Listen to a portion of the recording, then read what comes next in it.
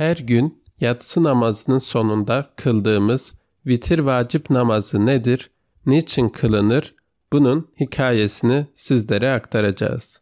Videomuza geçmeden önce kanalımıza abone değilseniz abone olarak takipte kalabilirsiniz. Vitir namazını niye kılıyoruz biliyor musunuz? Peygamber Efendimiz sallallahu aleyhi ve sellem Miraç'ta Sidre-i Münteha'ya çıktı. Bir rekat namaz kıldı.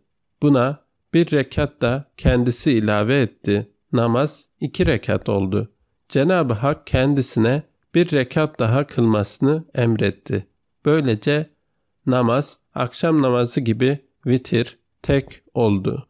İşte Peygamberimiz üçüncü rekatı kılacağı sırada ilahi rahmet ve nur tecelli etti. Peygamberimiz o nur içinde kaldı ve kendinden geçmiş vaziyette elleri çözüldü. Sonunda ellerini kaldırarak tekbir aldı. İşte elleri kaldırmak böylece vacip oldu. Başka bir rivayette ise Peygamberimiz üçüncü rekatı kılacağı sırada Fatiha ve Zamm-ı Sure'yi okudu. Rüküya gideceği sırada cehennemi gördü. Cehennem ehli kömür gibi simsiyah olmuştu.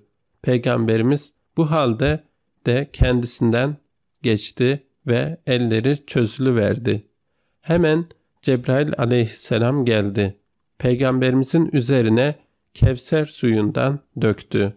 Böylece Peygamberimiz kendine geldi, tekbir alıp kunut dualarını okudu.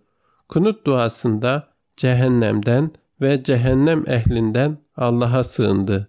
Vitir namazını vakti ve fazileti hakkında Peygamberimiz şöyle buyurmuştur.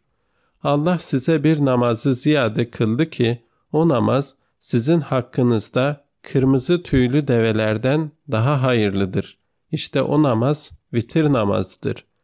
O namazı yatsı ile şafağın atışı sırasında verdi. Bilindiği üzere Arapların yanında o zamanlar en kıymetli dünya malı kırmızı tüylü develerdi. Hadiste vitir namazının en kıymetli dünya malından daha hayırlı olduğu bildirilmektedir. Allah tektir, tek olanı sever. Ey Kur'an ehli siz de vitir namazını kılınız. Kaynak Ebu Davud, Vitir, Tirmizi Kıymetli dostlar bu videomuzun da bu şekilde sonuna geldik. Videoyu faydalı bulduysanız beğenip paylaşarak başka insanların da istifade etmesini sağlayabilirsiniz. Ayrıca video ile ilgili yorumlarınızı yazarsanız seviniriz. Yeni videolarımızdan da haberdar olmak için kanalımıza abone olmayı unutmayın. Bir sonraki videoda görüşmek üzere.